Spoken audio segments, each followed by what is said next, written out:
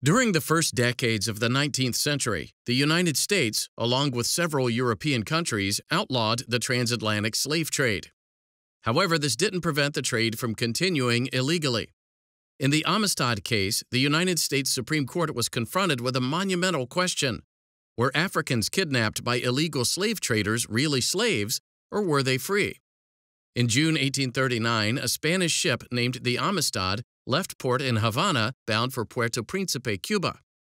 On board were the ship's captain, two Spanish planters named Pedro Montez and Jose Ruiz, and a group of Mende tribe members from the present day African nation of Sierra Leone. During the voyage, the Mende mutinied, killing the captain and taking control of the ship. In August, a United States naval officer discovered the Amistad off the coast of Long Island.